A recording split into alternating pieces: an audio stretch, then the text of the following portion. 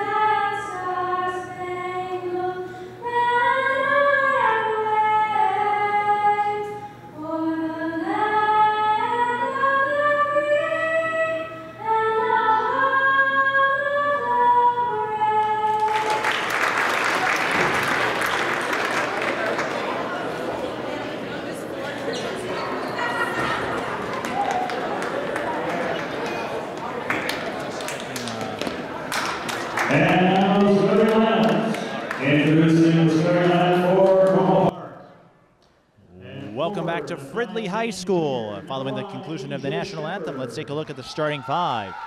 For the visiting St. Paul Como Park Cougars, it's Asia Shepard, the junior forward, number one.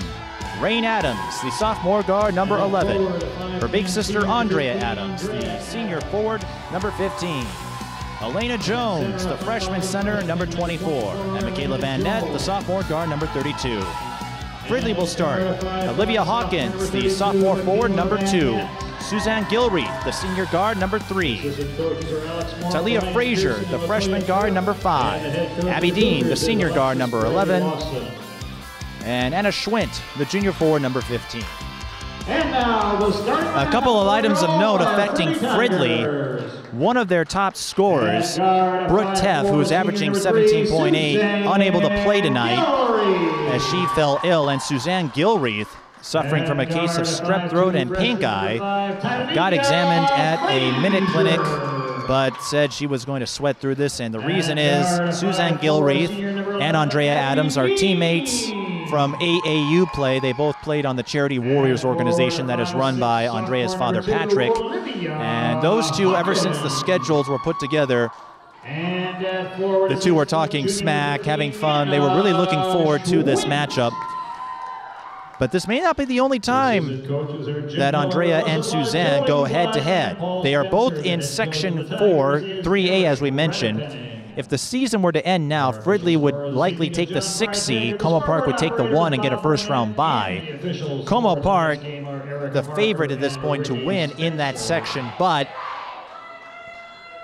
there's a sense of unpredictability as to who would come out on top in that bracket. Because you have Hill Murray, a team that struggled a bit, but you always have to keep an eye on them. De La Salle having a pretty strong year. Totino-Grace has fallen off lately, but they had some pretty good early wins. And Fridley, for the most part, has been playing through this season with a lot of injuries and just some inconsistencies in their roster. And, uh, and while that certainly doesn't help for cohesion, Eric Redepenning, the head coach, said it will provide some benefits later in the year. We'll talk more about that as this game goes along. Como Park having a little bit of trouble. Asia Shepard not an over the back call because her body did not cross the back court or the half court line completely.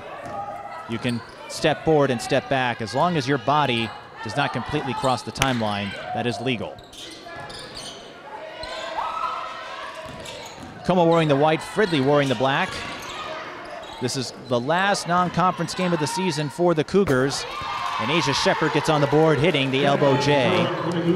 The last non-conference game barring the Twin Cities game. Andrayah Adams with the steal and the run out. Andrayah Adams pickpockets her close personal friend. And the Cougars are off to a 4-0 start. Wild shot goes off the rim for Olivia Hawkins. And here comes Rain Adams. Rain to Makayla for three. Bullseye. As we noted, Makayla Van Nett, 71 three-pointers. Suzanne Gilreath at our last count is Fridley with a turnover. Suzanne Gilreath was 74. There is a chance, depending on how far the two teams or get into the playoffs because playoffs, well, that was ruled a deflection, so Fridley hangs on to it. There is a chance that Makayla or Suzanne could threaten the single season mark that Gilreath set last year. Unable to get the roll was Talia Frazier. Van Nett finds Rain. Rain and one. And Como Park displaying authority here in the first 90 seconds. They've scored nine points already.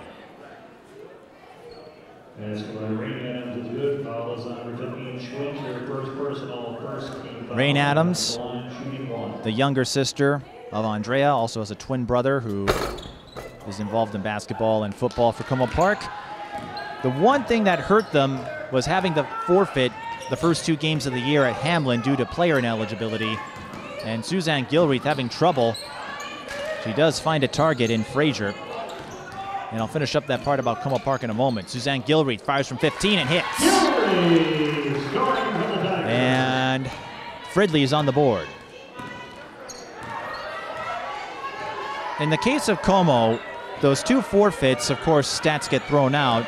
It didn't do much in terms of Andrayah's average. What it did do as she drives to the hole and puts it in, it delayed her quest for 3,000 because she scored 45 points in those two games and the forfeits wiped them out. So entering tonight, Andrayah's total was 2,897. She should get to 3,000 without any difficulty, but uh, the celebration will have to come into uh, later in the season. We have a scramble for the ball. A jump is called, and Fridley with the arrow. 15:34 left in the first half, and Como Park with an 11-2 lead.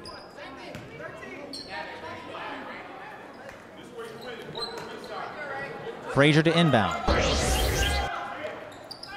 Goes deep. Schwint kicks out. Gilreath for three. That rims out. And Van Nett is fouled by. Frazier, her first personal second team foul.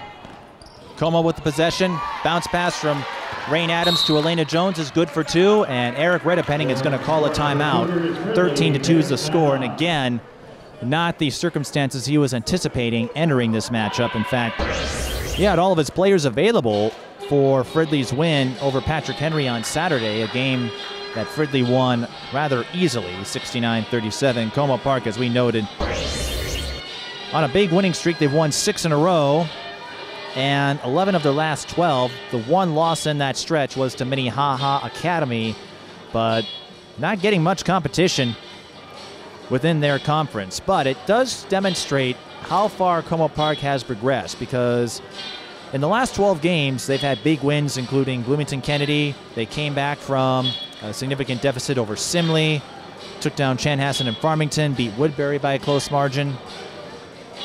A lot of quality wins for the Cougars.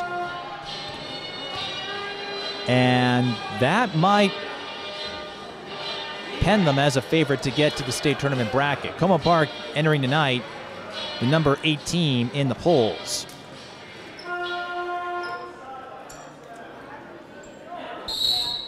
Now, what they do if they were to get that far, who knows? And the first objective is getting there, and there are going to be some teams who want to knock them off. De La Salle among them. Como Park just stripping the ball with impunity. Rain Adams with the steal there. Van Nett launches the three, and it's short. The rebound goes to Suzanne Gilreath. She's got a two on one. She will skip, and Rain Adams gets there in time for the deflection.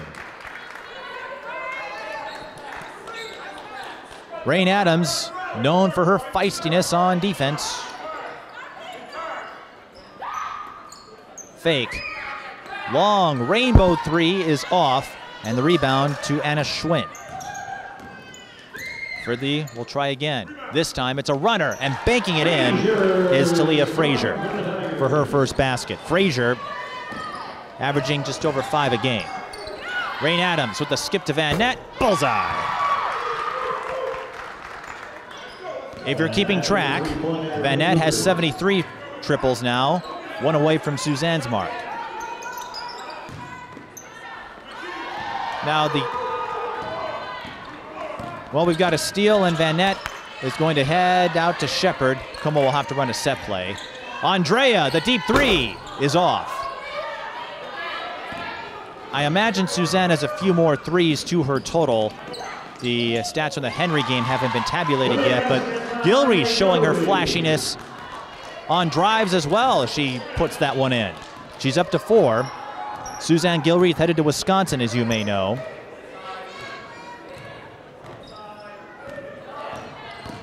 Andrayah, the 15 footer off the screen, swish. And Andrayah with six. 18 to 6 is our score in favor of the Cougars. Como Park trying to full court, and they do force a tough shot from Hawkins. That gives Como another chance. VanNett weaves, comes up short, gets her own miss. And now Shepard will launch the three. Was a little bit short though. Hawkins with the rebound, almost traveled. Suzanne Gilreath, she'll step into the three, and there's her first triple of the night. And 30 second timeout call and calling a timeout there was Alexis Gray Lawson, not liking what she's seeing there, even though her team is up by nine, 18 to 9. Suzanne Gilreath, in the words of Eric Redepenning, continues to get better throughout her varsity career, spends a ton of time in the game, on the game, in the gym. She'll take shoot around sessions before and after games, and he said where Suzanne has grown the most is her willingness to go inside because most opponents know she can shoot three pointers and she can still hit those with proficiency as demonstrated this year. So now the focus is trying to make defend, uh, her defenders more weary of leaving a lane open. We're back to action. Andrayah Adams hits the fadeaway J. And she has a quick eight points. 29 is our score. Hawkins used up the dribble, goes to Schwint, fires from 13, banks it in.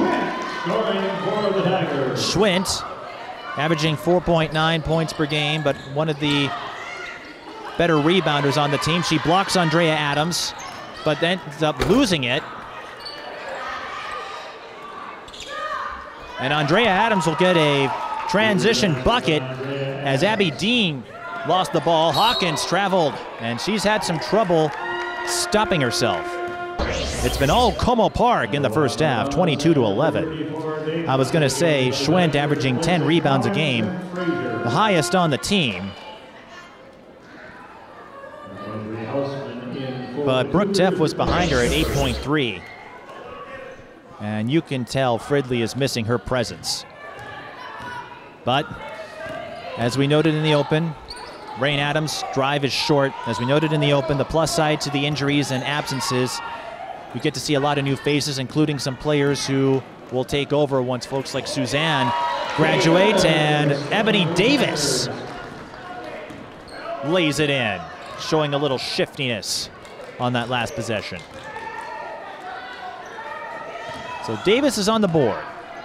Rain Adams throws up a prayer and gets the shooting motion, so she'll get free throws. The foul will be charged to Dean, her first personal. Rain Adams entering this game 6.2, her season high 17. Not known as an offensive threat for the Cougars, but again, her defense is her selling point. That being said, even when Andrayah graduates, following this Como Park team as much as I have, there are some pieces to indicate that Como will not fall off the radar like a lot of teams do when big name players graduate. Well, Rain Adams will be hit with a foul as they try to double team Suzanne Gilreath. That is her first and the first foul assessed to the Cougars. Rebecca Hausman on the floor now for Como Park. Gilreath from the corner.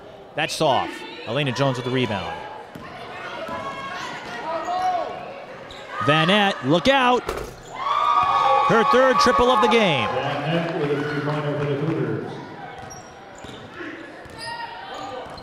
VanNett was 74 now in the season. Andrayah with the steal. She pickpockets Dean. The skip to Hausman goes up and is too strong. Missed opportunity for the Cougars there, but they still have a 12-point lead. New player in, it's Katrina Mraz for the Tigers. And Fridley throws it away.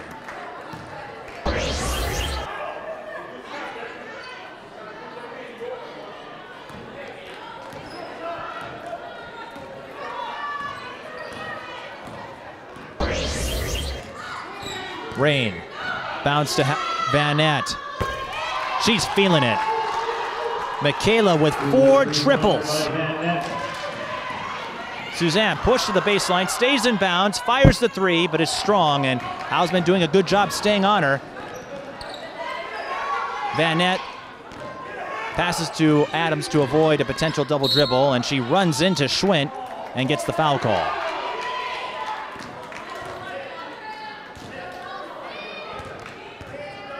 As you know, Como Park, a team that really likes to push the ball this year. Alexis Gray Lawson in her first season as head coach, emphasizing speed and agility and using a pressure defense to translate to a fast break offense. Dean picks up her second personal foul. If you're wondering the way Van Nett is shooting, her season high is 32. Andrayah Adams splits from the line. And Como Park is just throttling the Tigers. Again, Fridley competing without one of their top players. Fridley wins the scrum. And finishing the play is Mraz. Talia Frazier unintentionally deflected the ball. Andrayah Adams' step back three is strong.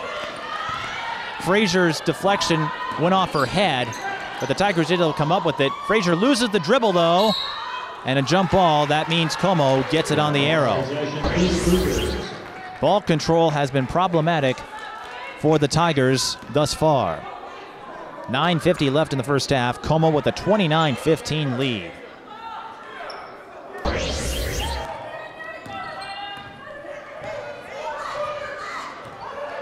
As we noted before, all St. Paul City Conference opponents after this for the Cougars, and there's nobody who seems that they can get in the way of a second straight conference title. Hausman cleans up Andrayah's miss.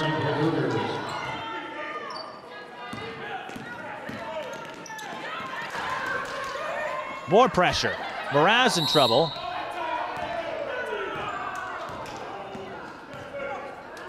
And she gets the timeout call just in time. But there's no question who is the more dominant team right now. And if you're wondering just how valuable Brooke Teff is, we've talked about her numbers. She was all conference in the Tri Metro last year.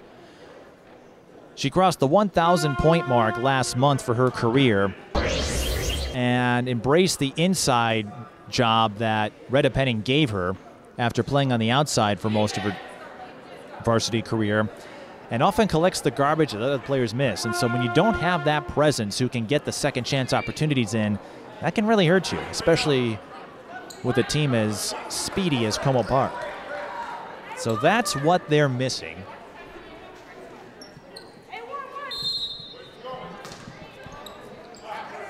But again, it means you get to see some new faces. And Redepenning has noted that seeing the mixture of veterans and new players who will take over in future years has been fun to guide. That deflection went off the official. And since the official is out of bounds, the play is ruled dead. Fridley will hang on to it. 9.08 left, and we certainly don't want to give Como Park the win just yet, as we've seen teams struggle only to rally back. We saw that in our last broadcast when Minneapolis North almost came back from 15 down. Whoa! Talia Frazier was off balance, threw up a prayer, and drains it. Unusual way to get your second basket of the game, but Fridley will take it. Andrayah. Working off a couple of screens. She'll go to Sydney Jackson. Shepard missing. And Hausman will be called for the foul.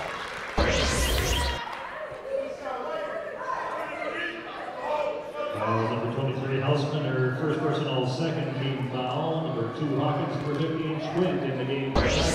Hawkins and Schwint return to the floor for Fridley. They trail by 14.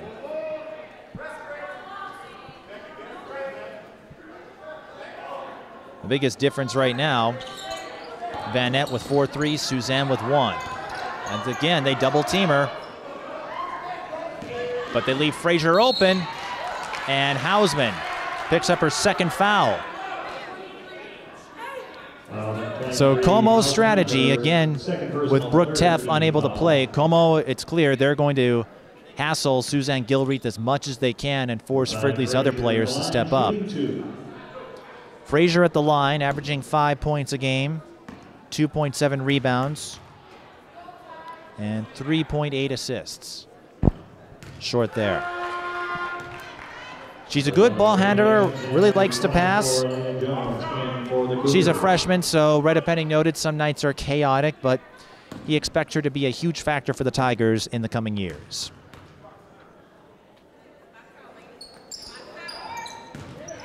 Needs a little more oomph on her free throw shots, though. She comes up short.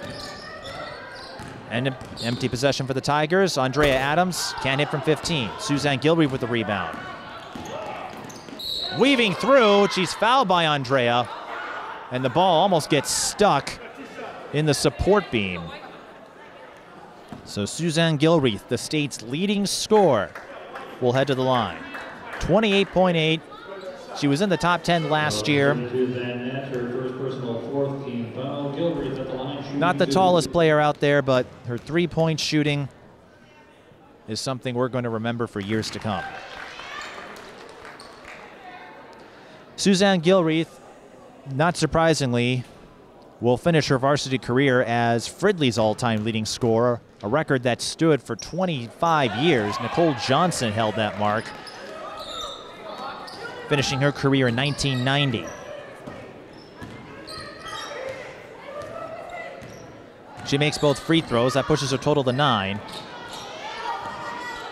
But Fridley's down by 12. VanNett. The stutter step doesn't work. And an over the back foul on Shepard. So now fouls are starting to affect Como Park here.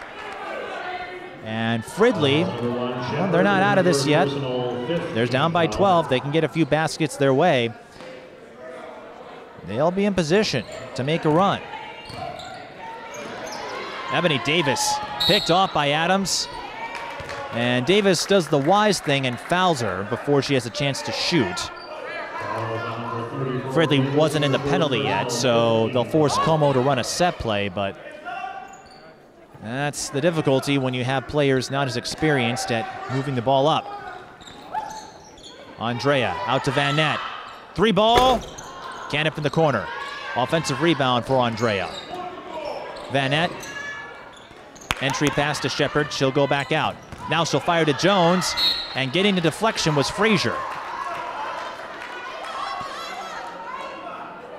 So Fridley starting to settle down a bit after Como's transition game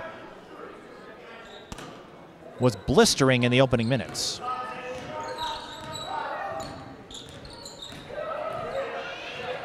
Andrayah steps into a three. Bullseye. That is just the 20th three-pointer of the season. And Gilreath can't handle the pass. So Como gets another possession without having to move. Andrayah out to Van. Three on the way.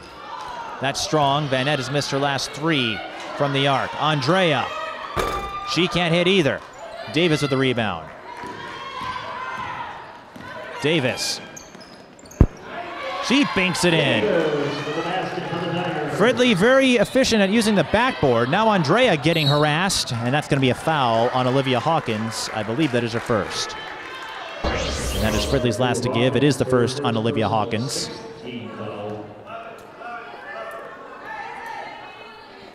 Six fifty-two left in the first half.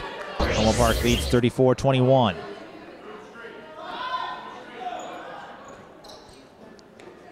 Van Nett having trouble, and Rain Adams able to chase the ball down before it goes out of bounds. And that's a foul on Talia Frazier, her second. Fridley in the penalty now. Foul number five, Frazier, her second personal seventh team foul. Number one, rise in the game for the Tigers. But they send a player to the line who is not all that effective in terms of offense. So we'll see what happens. Rain Adams, who has just two points, missed her first two free throws, will try to extend this Como Park lead.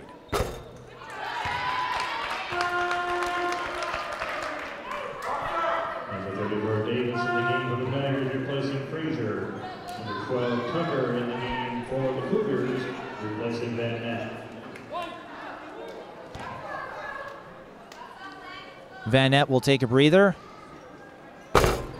Rain Adams, it's both. Bushes her total to four. In her place is Autumn Tucker. And Suzanne Gilreath forced out of bounds by her sister. I believe they're half sisters officially, but Autumn Tucker unable to take part in the conditioning drills during the offseason, and so they've been working to get her back in game shape. Tucker showed some signs last year. And the sophomore guard, not tall in stature, but could be a building block of the future for the Cougars. Adams. Keeping the dribble alive, fires the elbow J, and that's off the mark. Asia Shepard with the O board, finds Jones, and she's blocked. Jones uh, will not recover it. Jump ball, forced by Schwint. Fridley with the arrow.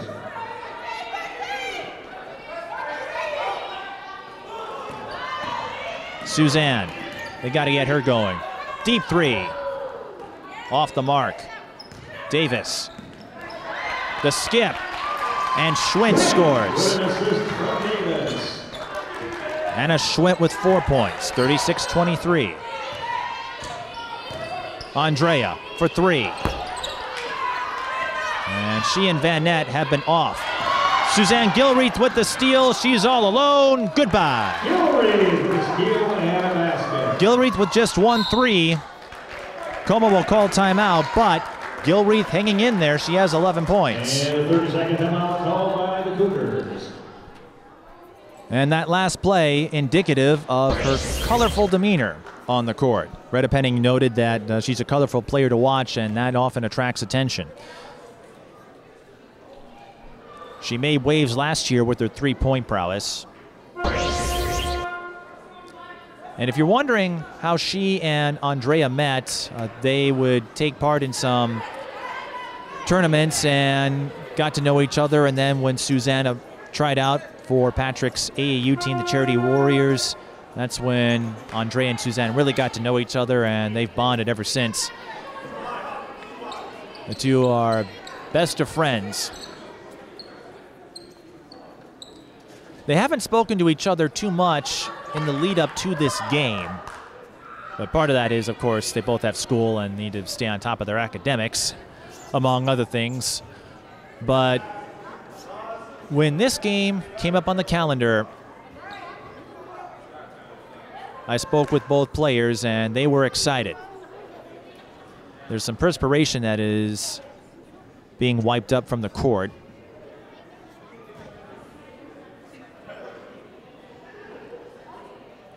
Suzanne would go to the practices at Como Park and would talk some smack to Andrayah, and then she would retaliate with, Well, this is my gym. We're in Fridley's gym here, but those two, along with their parents, were looking forward to this matchup, and they know just how much it means for two friends to play against each other, and perhaps get a chance to test their skills if those two are to see each other in NCAA competition next year. Andrayah going to St. John's, Suzanne going to Wisconsin, so the entry pass to Shepard, that doesn't work. She'll kick out, and Autumn Tucker will come up short on the three-pointer. Rebound Schwint. Fridley can draw this within 10, but Rain Adams snipes Gilreath from behind. Andrayah, she's not going to give up. But she's missed her last five shots now. Tucker on the second try. That's off. And that's going to be a dead ball rebound to Fridley. So Como in a in a shooting run here. And this slump could open the door for Fridley to come back. As most shooting slumps do.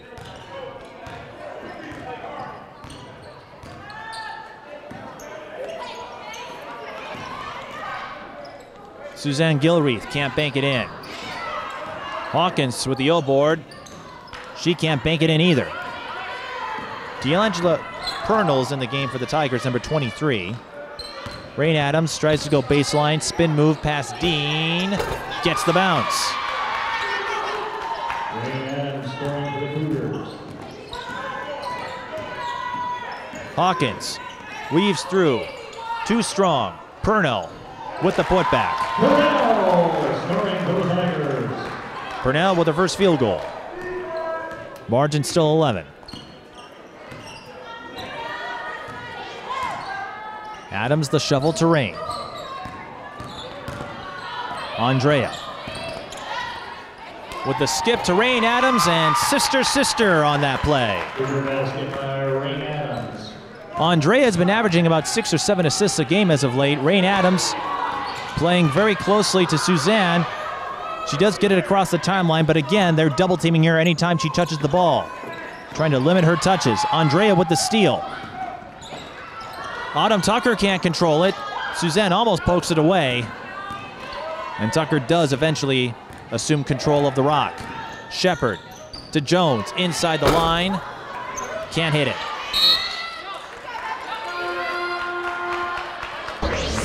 Como with the arrow after Ebony Davis and Rain Adams were tangled up. VanNett returns to the floor. Como Park still leads by 13. Coming up at halftime, we'll have Kevin Anderson, the assistant coach at Stillwater, and the scouting expert for KJASR to give us a mid-season report. Andrayah looking for VanNett. The pass was too high.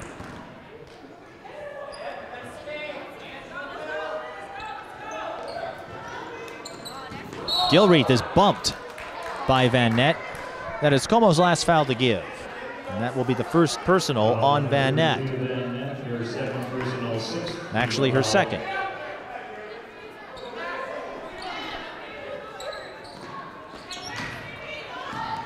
Davis used up the dribble, and Purnell with a tough angle as Jones was breathing down her neck. Andrayah one on one. Collides with Suzanne. Count it. Andrayah getting the best of her AAU teammate thus far. 42-27. And Como with a chance to extend the lead. Andrayah Adams, even with the recent shooting slump, an impressive first half figure, 17 points. And we know she can put up big numbers. Suzanne with the double team that Como has put on her. Gets out of it this time, takes the three, makes the three. Fridley needed that one. Suzanne Gilreath with 14, that is her second triple. VanNett with the answer. No. Adams, O-board, and she'll get the second chance points. Andrayah with 19 in the first half, unofficially. Suzanne. Here comes the double again. This time it translates to a steal as Hausman picks it up. VanNett is fouled. She'll shoot two. Purnell will be charged with the foul. Makayla VanNett, 17.6 points per game. Her season high is 32, and if you remember, there were glimpses of her talent last year. She hit some big baskets in the Twin Cities game with Washburn, the first trip that Como had ever made to help them win. And now she's become an effective second option for the Cougars. And I imagine when Andrayah graduates next year, VanNett will take over the leadership mantle.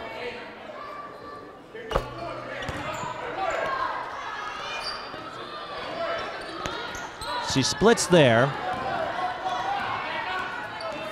Dean one on one with Hausman.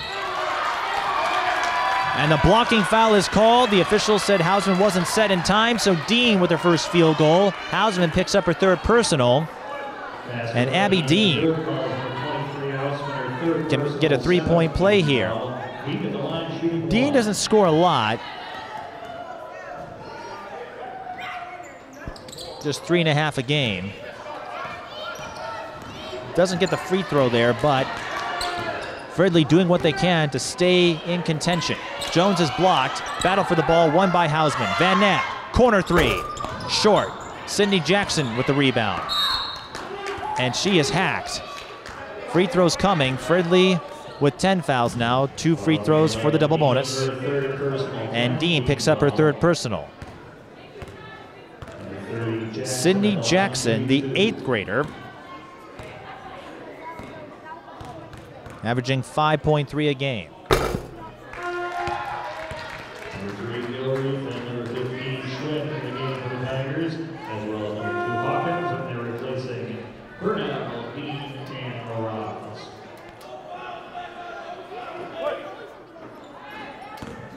Dean, as you can imagine, heads back to the bench. Jackson splits. Davis runs into a jump ball. Fridley with the arrow. 155 left in the first half.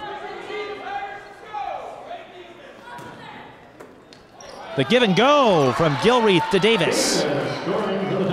Davis up to six. If you're wondering, Gilreath averages two and a half assists a game. Frazier with the steal. Once again, Fridley has a chance to get some momentum. Schwint in trouble, loses the ball to Andrayah Adams. Andrayah, coast to coast, banks it in. 21 points for Andrayah.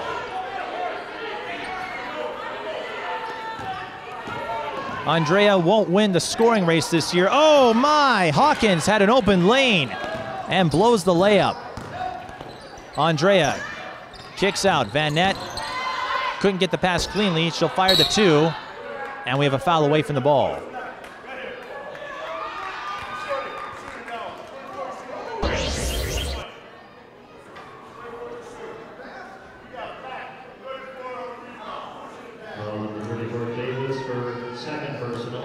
Ebony Davis hit with the foul. Much to her dismay, it's her second personal. Elena Jones will shoot two. Elena Jones averaging 10.6 a game.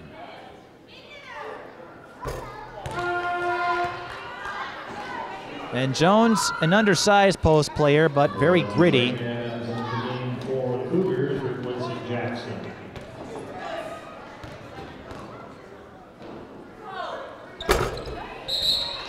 Splits.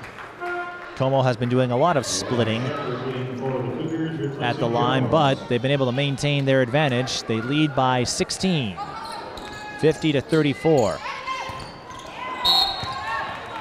And Asia Shepard with some strong baseline defense, forcing Hawkins into a turnover. And that's where Como has excelled.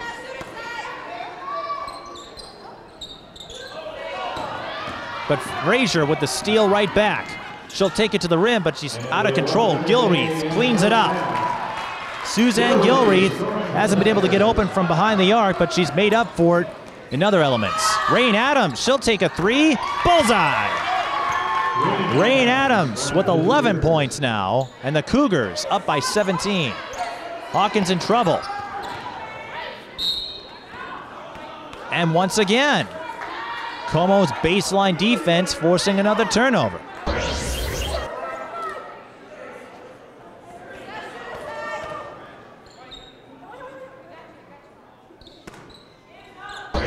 Rain to Andrayah.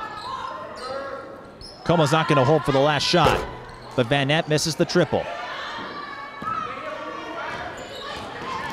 When you're up by 17, though, not a huge risk. Rain Adams pickpockets Frazier. The two collide. VanNett one on one. Can't draw the foul on Davis, but she'll get the bucket. VanNett with 17. Hawkins in trouble loses the ball again. That's three straight turnovers on Olivia Hawkins.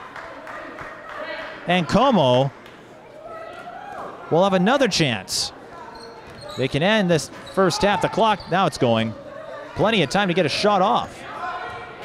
You know Andrayah's going to take it if she can get a look. There it is. This is the three, but a minor bump in an otherwise dominant first half. The Como Park Cougars with a 55-36 lead over the Fridley Tigers. So we'll take a break and bring Kevin Anderson with us for the halftime interview, and we'll come back with first half stats and analysis. You're watching high school girls basketball. Como Park leads Fridley 55-36. And I'm joined by Kevin Anderson, the guy who's seemingly at every basketball game imaginable. Well, not quite, but uh, you do your best to get all the top teams in. Yeah, I hit two games this weekend, one in Duluth and then one in Perham, so I put some miles on.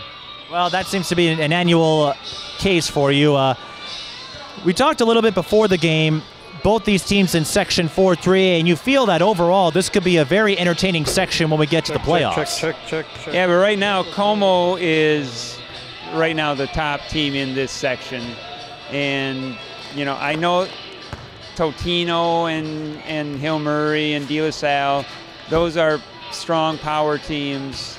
Been to the finals in the state 3A tournaments and then you got Fridley. So I mean, it's a it's going to be a gauntlet to run it, but Como has the firepower. It looks to me to succeed. And as you know, Como hasn't been to the state tournament yet, so that intangible might come into effect, but you can't deny their talent. All right, these kids have played together in the summer and they've had big game experience, so they're not phased by what's going to happen. Another class that maybe has opened up uh, 4A. Uh, Hopkins getting knocked off by STMA Minnetonka, but uh, you know, of course, they have the experience and the know-how. But a lot of uh, good teams in that field. Yeah, I think the 4A is going to be a battle down to the five seed. You know, it's there will be a good six, seven seed, I think, this year in the state. Other years, it's been pretty much five, and then it drops off. I can see a, a legitimate six saying, "Hey, we should have been a five or a four, or maybe even a seven seed being in the same position." Does Hopkins still have the edge, or are there some other teams who could give them a run? Hopkins is going to be strong. You know, Shakopee, and that's going to be a good game on Thursday this week. Uh, you know, Shakopee might not get to state because Minnetonka's in the same section. That's pretty strong section. Uh, Hopkins should make it to state this year. Um, and then you got Section 1 and Section 8. Those are strong sections. East U section is strong. So, I mean, there's a lot of good sections out there. And then in Class 2A, uh, maybe a bit of a topsy-turvy one there. Uh, Dover Eyota a little off their perch, but you never quite know what can happen over there. Uh, that's going to be a wide open class.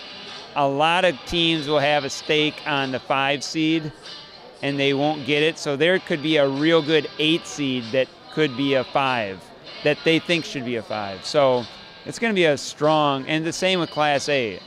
There's going to be good teams all over in that sec, you know, in that class too.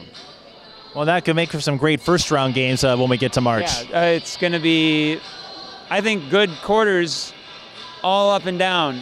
Maybe 3A, maybe not as much. I can see some blowouts in the quarters there, but uh, definitely good quarters in fourth, two, and one. What are some observations you've noticed this year? Of course, you are an assistant coach at Stillwater, and then you still go to a, a bunch of other games. So, anything you picked up on that stands out this year? Not necessarily. Um, I think that the, it's going to be a balanced field, and people are still competitive, still trying to. This is a home stretch here in February. This is where the, the better teams start separating themselves, and I'm looking to see that in the next three weeks. And then we'll wrap things up with this game here. And you've covered a lot of games, so stats maybe don't mean that much. But when you have the top two three point shooters in this game with Suzanne Gilreath and Makayla VanNett, and that's just the tip, uh, what does that say about maybe the depth of talent in this team or in the state where you've got a lot of uh, good name players? Como has a lot more depth. You know, and Fridley's today is without one of their thousand point scores, so it's going to impact their performance. But 55 points, that's that's a defensive issue, and but the speed and quickness of Como is going to really cause a lot of problems in 3A. It's going to make for a very entertaining sectional round, and if they get to state, who knows? But uh, I, I, see them being a seeded team, whoever comes out of this section. And uh, you know, you got Orono and you got Winona and Cass and so Como's right there right now. They, to me, they look like a three seed. Well, we'll see where they're seated. Of course, you can find this guy at Stillwater Games and online at kjasr.com, where he's always up to the up to date with his stats and other figures and observations. So, thanks for speaking with us, and uh, perhaps we'll see your team in state if uh, you get lucky enough. It's going to be uh, an interesting postseason. Kevin, Kevin Anderson of KJASR.com. We'll be back with the second half in a moment. And we rejoin you at Fridley High School as we continue our coverage of high school girls basketball. I'm Mike Peden here, and Como Park has been all over the Fridley Tigers with a 55-36 edge, but as we noted, Brooke Teff unable to play tonight due to an illness, and that tips the scales in Como's favor when you don't have a score and rebounder of her caliber on the floor. First half numbers, these are unofficial, but Andrayah Adams has 21 points. Maybe showcasing the Andrayah we saw last year. Makayla VanNett with 17, including four threes, and Rain Adams with 11. Those are your notables. Fridley getting 16 points out of Suzanne Gilreath, but those points have been hard earned ones. Como sending double teams at her every time she brings the ball up court, and for the most part, doing a good job of sealing the arc. Ebony Davis with six, but not too many other notables in the case of Fridley, and that's got to change if they're going to come back in the second half.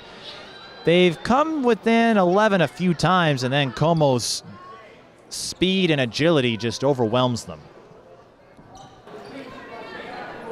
In any case, it's going to be a very fun state tournament. I think it's going to be much more open than previous years, where, especially in 4A, where Hopkins could ride into the sunset. VanNett will do just that from three-point range as he hits from the corner pocket.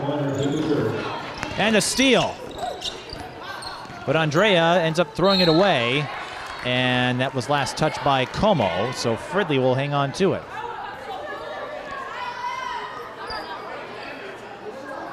Nope, they reversed the call, so Andrayah, quick three, and that's in. Como Park not fooling around. They take a 25-point lead. Suzanne turns on the accelerator and backs off, shakes her defender, and comes up short from the baseline. Shepard with the rebound.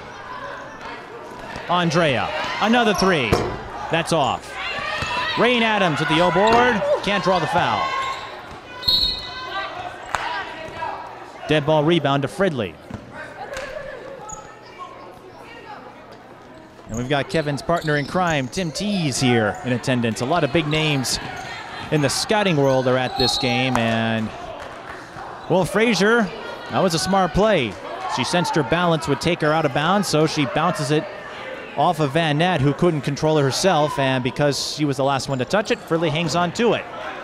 And they get the outlet pass hooked up for Gilreath for the score. If they can get Suzanne in the open, that's where she's the most dangerous, but Fridley's got a long way to go. They're down by 23. Skip pass to Shepard for the deuce. Andrayah Adams with the assist. And she steals it. Oh my goodness, Andrayah Adams is everywhere. And another timeout for Fridley. Como Park not fooling around. This rings shades of a game I covered earlier this year between Maranatha and Minneota, where Maranatha started the second half on a surge and the game ended in running time. Meanwhile, our camera operator is paying his homage to the theme from Beverly Hills Cop. what can I say? He's a cinephile. But I'll tell you who's insane. Andrayah Adams with 26 points. I'm also insane, but that's already been established. Andrayah, we mentioned, needs 103 to hit 3,000. When she'll cross that mark is hard to say.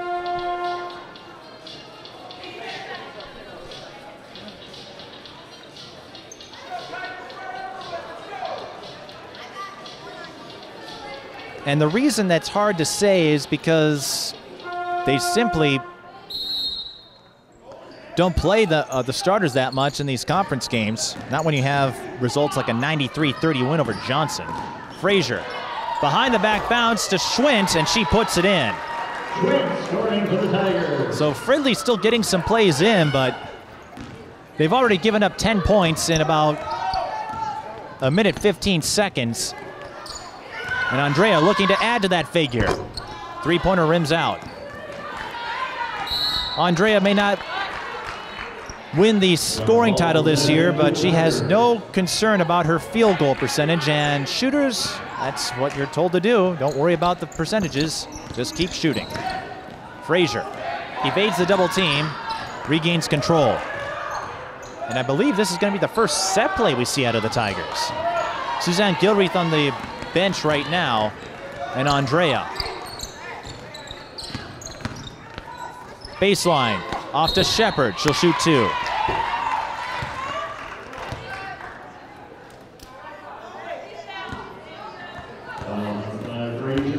The foul is on Frazier, her third.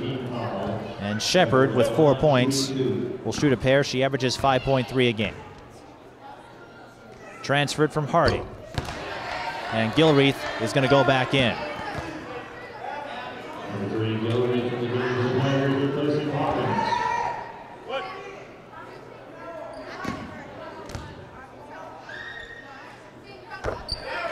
Shepard splits. She's up to five. There's one weakness or black mark on Como Park's performance tonight. It's the free throw shooting. Shepard called for holding. One Shepard, her second personal. It's amazing what those basket mics can pick up. In any case, it's a foul on Como Park. There's the double on Gilreath again. Davis has it. She's going to go up against VanNett. No. Gilreath can't put it in. Schwint is fouled. She'll shoot two. Foul on 24 Jones, her first on Elena Jones, her first. Schwint doesn't score much.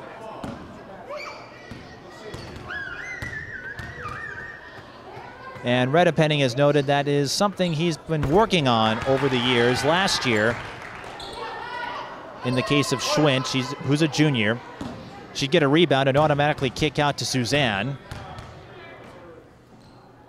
And now she's starting to buy into trying to get missed shots and turn them into putbacks. She splits there, though, and Fridley's going to need to do better than that if they're going to come back from 25 down. Como Park leads 66 41. And now they run a set. I think it's their first of the first half. VanNett can't hit the step back J. And Davis with the rebound. And she's bumped by Rain. That's the second on Rain. It's the third team foul. Her second personal, third team foul.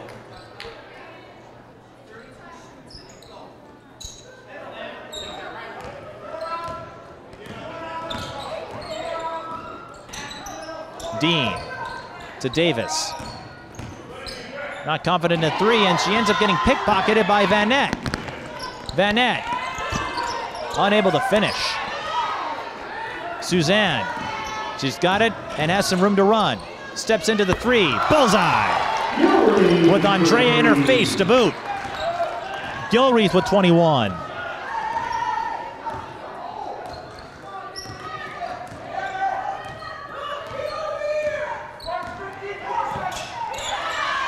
Rain's pass intercepted by Dean, and Gilreath picks it up. This time she gets the pass off to Dean before they have a chance to double her. Frazier. Bounces to Davis. She'll launch the three now and hit it. Fridley making things interesting for the moment. But they still trail by 19, 66 47. That was the first three pointer for Ebony Davis. Here's a look at our next Tiger home game. It's coming Friday. The girls will host Columbia Heights. in Fridley, they'll finish up with Tri-Metro teams, and they have some pretty good matchups coming up. They'll get De La Salle one more time at their place on the 11th, and that was a game where they were in contention until the end. Uh, but some other winnable games on the horizon. They get South St. Paul, uh, Brooklyn Center. In the case of Brooklyn Center, that's a game where it's a bit of an awkward scenario, and that actually has hurt Suzanne's uh, three-point totals because Brooklyn Center just doesn't have much of a program, as our camera guy can attest to. and so uh, Fridley doesn't send their full complement of players for those matchups. That being said, there is a chance that Suzanne could break her own record for most three-pointers in a season. VanNett right behind her, and she adds to her total. VanNett with 23. This is old school Como Park in terms of the scoring distribution. And that's a double dribble violation on Shepard and an unfortunate miscue after she forced a steal. But Como Park still in full control, 69-47. And as Kevin Anderson noted during halftime, their speed is just far too much for Fridley right now. Davis is blocked. But Jones can't quite hang on to it. And she and Andrayah share a laugh. You can't fault hustle. But Fridley will get another try. Dean didn't like the entry feat, so she'll go back out to Frazier. Davis again. Can't bank it, but Schwint gets the rebound, bounces over to Dean, and she's fouled by Jones. That will be a shooting foul. Foul to number 24 Jones, her second personal fourth team foul. Dean with just two points. Missed her first free throw in the first half. And still is yet to hit.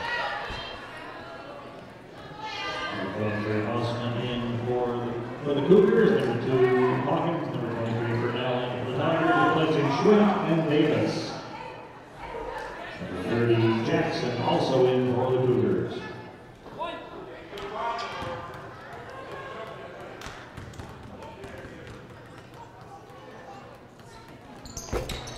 Dean misses both, and she's 0 for 3. Fridley as a team, 3 of 9. Andrayah tried the skip to Hausman, and well, he gets lucky as Ebony Davis, or I should say uh, Purnell, got hit with a foul. But we've noted this early in the season. Como Park sometimes not aware of Andrayah's no-look passes, and they get burned. VanNett, another three. This one's short. And Gilreath showing some vertical. But she throws it, and Shepard with the deflection. Andrayah will officially get credit for the steal. Three, bullseye. 29 points. Gilreath doubled again.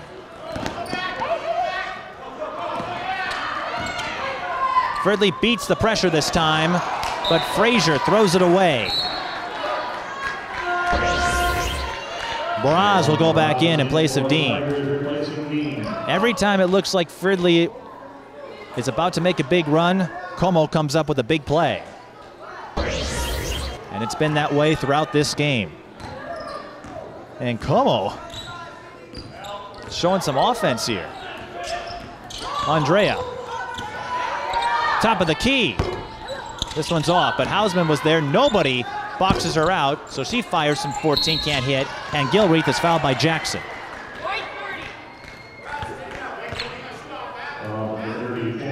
It's the first on the eighth grader, but Como Park, once again, not having a whole lot to worry about here. And if nothing else, this is just another sign of how much they've grown since the start of the season. VanNett gets the deflection but can't get the steal ultimately as it goes out of bounds. And even with the forfeits, again, that may hurt them in section or state seating if they get that far. They can still find ways to get steals and buckets. Andrayah Adams gets buckets, a lot of them. She has 31 now. And that will be the easiest two points that D'Angela Purnell and Fridley may get all night. They sent everyone in the backcourt, nobody behind, and Gilreath located Purnell easily.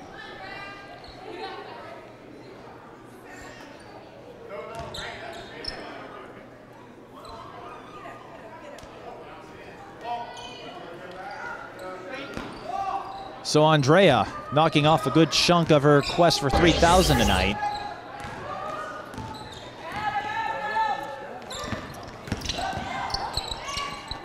Used up the dribble, kicks out to Jackson. Another three. This one's short. Andrayah showing no sense of restraint with three pointers tonight. Hausman, no. But with the offensive rebounding and the steals and all the hustle plays being won by the Cougars, you can afford to be a little aggressive, but they get another foul.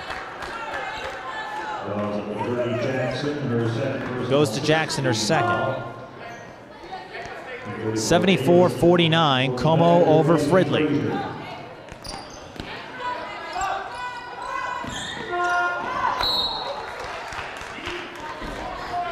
And they'll get another inbound as Jackson got the deflection and then didn't know what to do with it.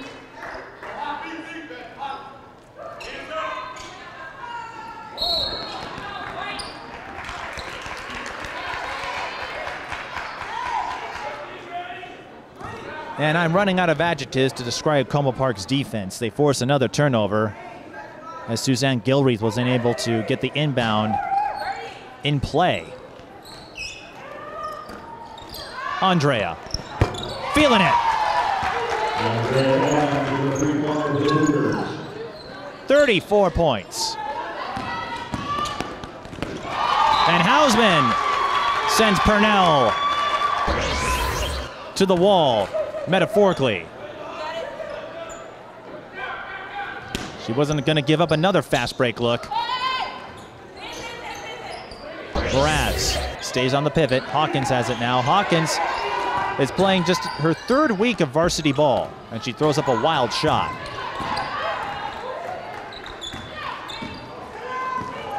Jackson. Traveling violation.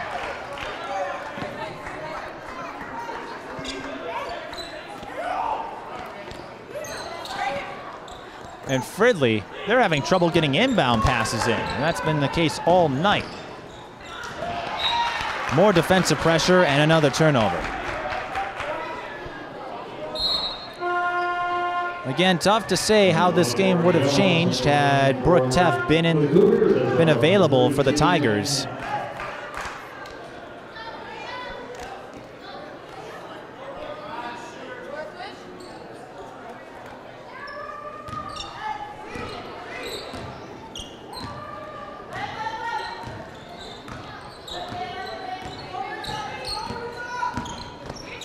Rain on the drive, too strong.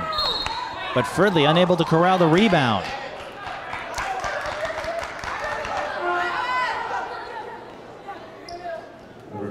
And Andrayah taking a breather. Probably a well-earned one with her night, 34 points. Even if she doesn't see another minute of floor time. As Davis gets a deflection.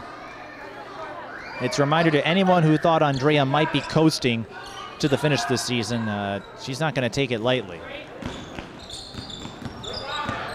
Jackson. Baseline drive was blocked by Schwint. But VanNett intercepts the outlet pass and takes it to the rim herself. She's up to 25. Cougars. There's Gilreath. Offensive. Foul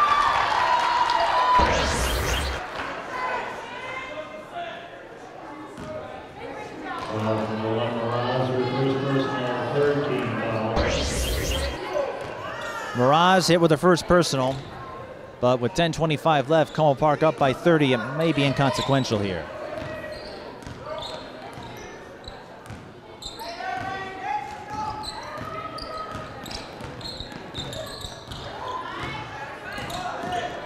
Frazier responds with a steal. And the run out. Tigers scoring for the Tigers.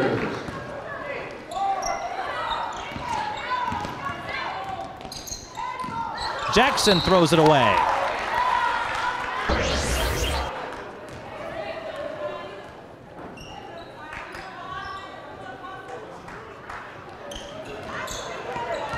And even if Fridley doesn't win this game, you know there's some pride on the line here, and you know, they want to send every sign they can that they could give Como a run when we get to section play. But they're going to need to be a little more efficient with their ball control but part of that is just Como Park's relentless defense. Andrayah Adams will go back in. We'll see if she can add a few more points to her total. Her season high this year is 39. I'm not sure she'll need to get that high.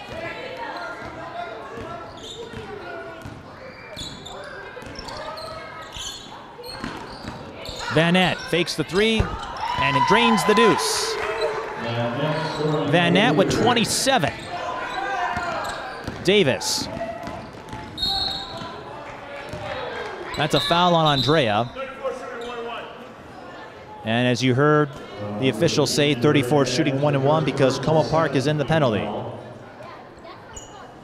So Ebony Davis with nine points will try to add to her mark. Davis at the one and one.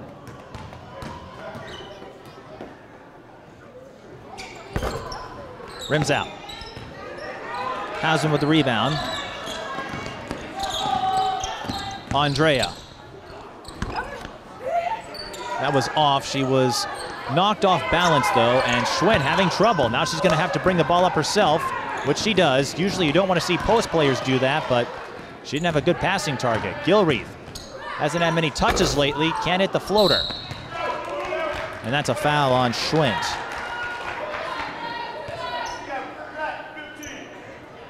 That's her first. Actually, her second. No, that is her first. They had 15 on the scoreboard and might, might have thrown them off, but that 15 was for Andrayah. Van Ed. Wipe that away, an offensive foul away from the ball. No, it was on VanNett. Team control, so no free throws awarded to Fridley, but with 8.42 left, Como Park under no signs of stress here.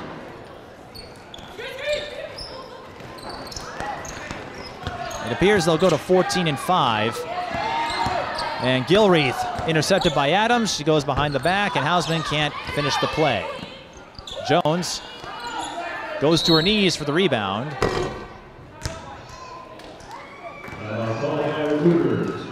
And Como will call a timeout to settle things down. 81-51 the score. The Cougars should finish with the win here, and if they do, they would go to 14 and 5, and Fridley would fall to 10 and 8. Como Park will likely get the one seed and a first round bye in their section. The way things are right now. And we mentioned in the first half, Como Park trying to get more distribution and balance in their offense so that it's not solely dependent on Andrayah. Now, when we get to the playoffs, it will be interesting to see if anything changes because, as you can imagine, the top players are going to want to try to step up for their teams. But Como Park has a lot of pieces to suggest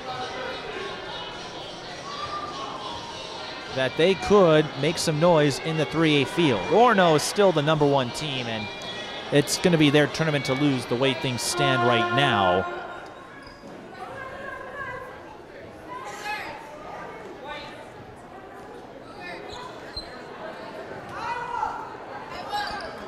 But it's hard not to see the wins that Como Park has recorded, and those two forfeits against Waconia and Providence were wins originally.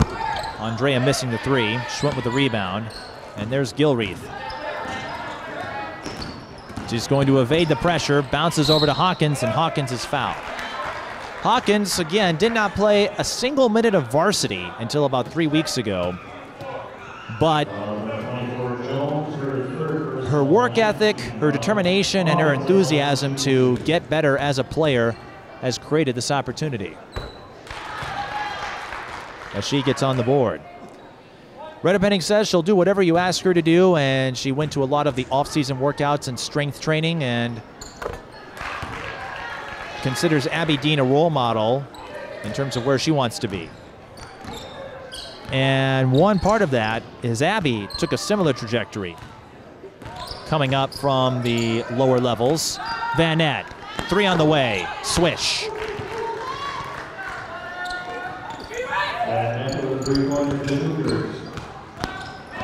31 for Makayla VanNett. And Gilreath doubled up again. Schwint finds Hawkins. She gets the pass off, and free throws are coming for Morgan Teff, the younger sister of Brooke Teff.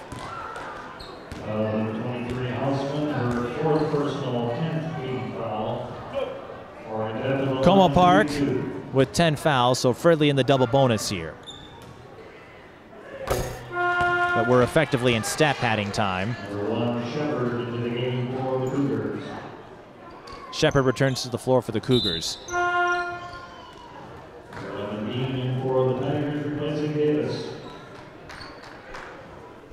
The one thing we really haven't seen when I spoke to Eric Redepenning is a team who, in the case of Fridley, has been at full strength. Because he feels confident that Fridley could play an upset bid. once they get all the pieces together.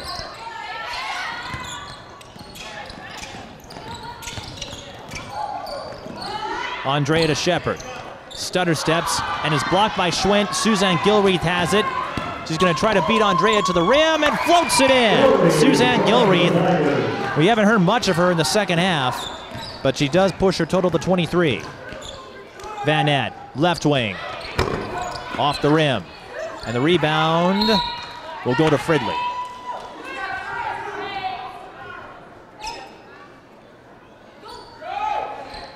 Dean. Remember, you can't move on a dead ball play. Hawkins drives and has a chance at three. Hausman hit with her fourth personal. So Como Park showing some signs of sloppiness on defense here in the second half, and that's actually her fifth personal foul. So Hausman will foul out of the game.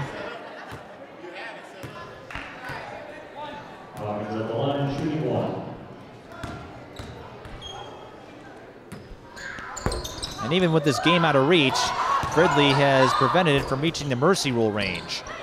A couple of offensive rebounds and more free throws coming as Andrayah Adams fouls Abby Dean.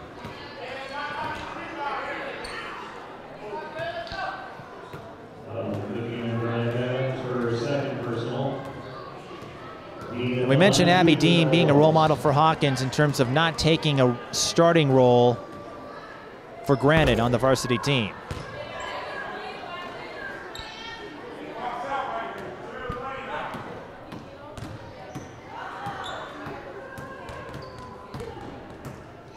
And the hope is that for someone like Suzanne, uh, that she can be a role model for some other players here. Fridley doesn't have a long history of D1 athletes. Andrayah Adams missing the triple, and Como Park in a similar position themselves. Andrayah, I should say that was Suzanne getting a little bit of a push off, but could not hit the three.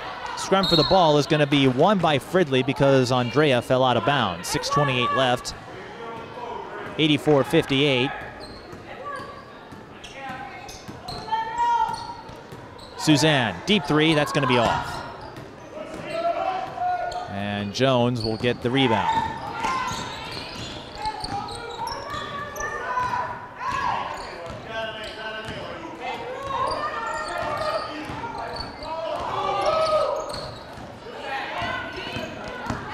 Rain bounces over to Jones, and Jones wasn't ready for it. Now she'll go to VanNett. Off the screen, can't hit the three from the corner. Suzanne Gilby with the rebound. Suzanne lost the dribble. And Shepard will scoop it up. Doesn't have the speed for fast break play, so she'll have to go back out. Elena Jones fires the elbow J and can't bank it in. Gilby with the rebound. Andrayah cuts off the lane. And Shepard gets a deflection off of Suzanne Gilby's pass. 5.28 left in regulation.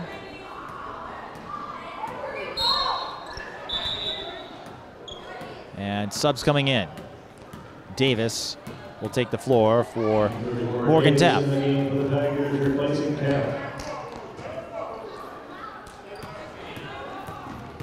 Suzanne. She's got a two on one, finds Hawkins. And Hawkins will shoot two. Fouls number 11, Adams, her third personal. Two Hawkins at the line, shooting two.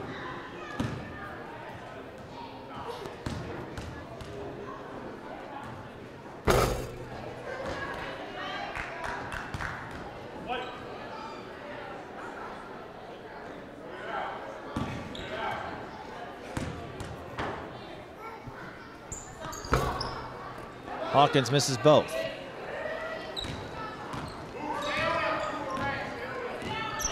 If nothing else, this will give Fridley a chance to get some notes and take some steps that could help them later on, getting a chance to play without Brooke Teff.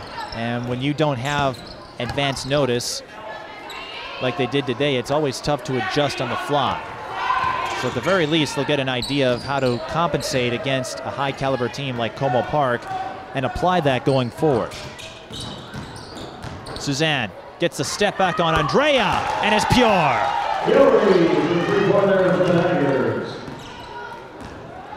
Suzanne up to 26. Andrayah answers back, but can't hit. Not sure how many shots she's taken tonight, but 34 points. You can't sneeze at that.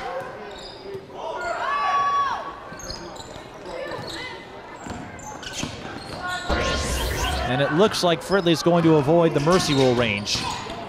So there's some pride in that. And Gilreath showing a little bit of her stutter step moves there as she hits the mid-range J. She's up to 28 now. Andrayah trying to bait Suzanne. And she's hit with the offensive foul.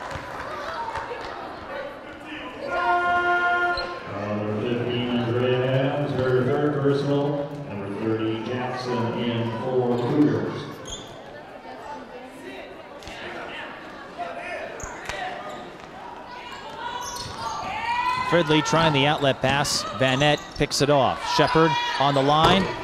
Can't hit the two. Elena Jones aboard. She'll kick out to Jackson, who will take the three. And that's strong. Schwint with the rebound. Como Park, they took control of this one early. Fridley made some moves here and there, but Como Park proving to be too much. So even though Fridley has been on a scoring run as of late, it's going to be hard to look at the score and not consider Como Park a front runner. But again, these are all building blocks, and this is why players continue to go at it with 100% effort, even if the outcome is decided, because every team makes the postseason through their sections.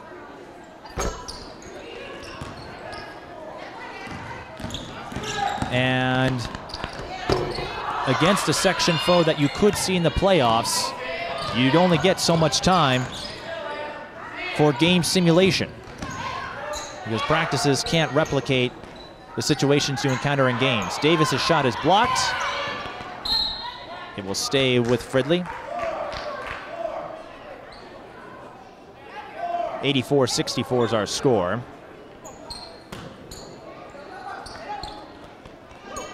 Suzanne Gilreath misses. Schwint has it. Takes it up and unable to put it in. Hawkins is blocked and Como Park's interior defense holds serve there. Autumn Tucker fires the three. Off the rim. Hawkins with the rebound. That's going to be a backcourt violation. Hawkins was in trouble and didn't realize she crossed the timeline. But you only get 36 minutes in these non-conference games to get a glimpse of your opponent that you could see in the playoffs. And so coaches are going to take this a little more seriously than they might in a conference game because they want to get a sense of how their players will perform in certain circumstances. And that's why you, know, you see Fridley fighting back. VanNett, that was deflected. Fridley will let it bounce out. Andrayah Adams is going to come back on the floor for the final 251. And VanNett will take a seat. Fatigue might be a factor, but VanNett with 30 points.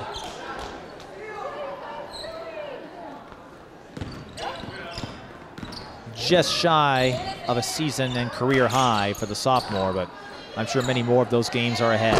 Shepard missing the baseline jumper. Hawkins with the rebound.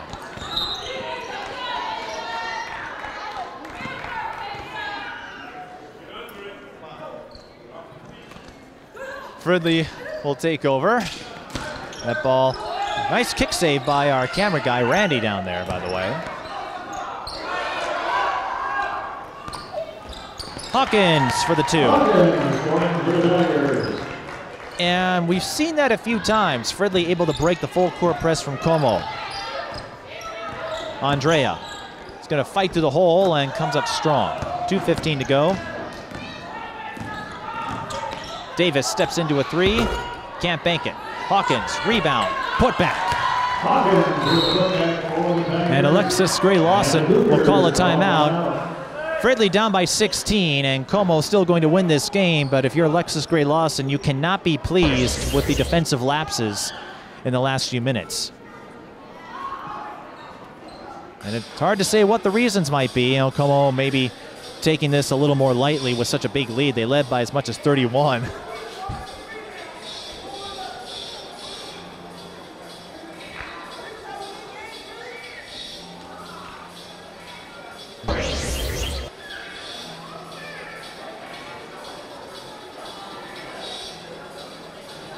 And Como Park's scoring drought is another reason. Like we say, though, if you're in a shooting slump, that's often a good window for the other team to bounce back, and that happens at any level. By the way, Adam, it's Como Park, not Park. They don't start with Park. Adam, though, sharing a very astute observation. And now Como nearly throws it away. Jackson does recover and throws up a wild shot. All right, Fridley with another chance here to pad their numbers. And this is being done without Suzanne's help. Andrayah with the steal, one on one. Tried to bounce to Jackson, and that's picked off by Davis. Davis, she's gonna almost take it herself, and Jones comes up with the block. She's got a one on one with Purnell now. Purnell trying to set the screen or get her body set in time, but she took a little bit of a step, and so Jones will shoot two. So Como will have some improvements to make, getting into a rut here late in the game and allowing Fridley to cut what was a 31-point deficit to 16. It's going to be one of those games where the score was not indicative of the outcome, but I imagine Como will make some corrections. How well they can apply them is to be determined because their next seven games are against St. Paul City Conference opponents. None of them have been able to put up a fight so far. Mirage travels, 126 to go. Strong games, though, from Andrayah and Makayla. We'll probably get a word with them for our post-game interview. And you have to give Suzanne Gilreath credit, willing to take on pink eye and strep throat. Of course, when you're playing in games, you don't necessarily think about those things, and so mentally can be a little easier. Andrayah Adams will shoot three free throws.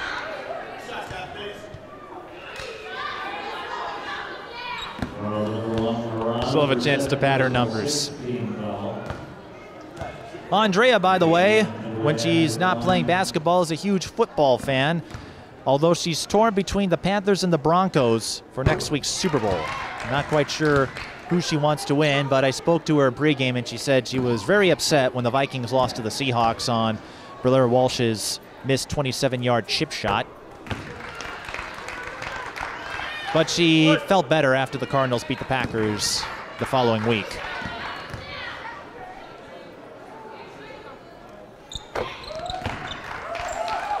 Makes all three free throws. That puts her up to 37 points, so she'll fall just shy of a season high herself. Her career high is 49, by the way. Rain Adams with the steal. Goodbye. Well, Como Park, even though the game's over, they at least get out of their scoring drought, and they're still not giving up. It's the last minute, and they're playing as if it was the first minute. Of course, you have to like that if you're the coaching staff. Hawkins will try to add two more. And she took an awkward fall.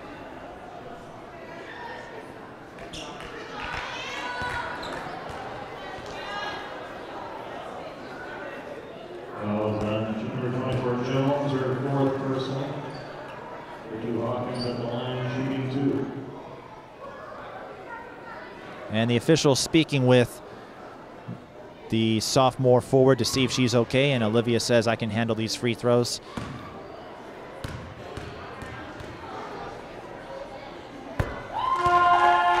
And how about Olivia Hawkins?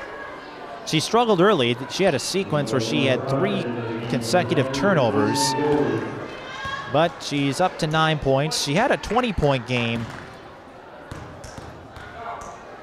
against Brooklyn Center in the first meeting. 14, Morgan Kemp, bringing the Tigers, replacing Hawkins.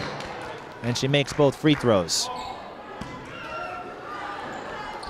That'll push her total up to 10. Less than a minute remaining in the second half. I don't expect Como to push anymore here. Andrayah's looks like she, well, is she going to try? Yep, she's going to get the floater. And she'll end the game with a statement matching a season high 39. And they're still playing full court defense.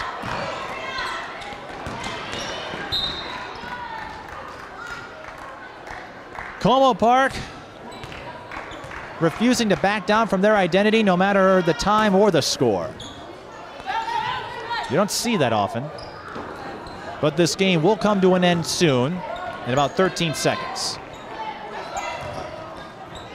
Davis used up the dribble, and Baraz will add two more points to her total. She'll end with four, and Como Park will run out the clock. A dominating 91-72 win. Their defense overwhelming Fridley, and they had a great plan going in, doubling up Suzanne Gilreath, making her night as difficult as possible. Suzanne Gilreath does finish with 28, but VanNett will gain a few baskets on her in the three-point shooting race. Andrayah Adams will finish with 39, matching a season high. Makayla VanNett with 30. And Gilreath, as we noted, the leading scorer for Fridley with 28. We'll try to get a word with Makayla VanNett and Andrayah Adams before we wrap things up. You're watching high school girls basketball. Como Park wins 91 72.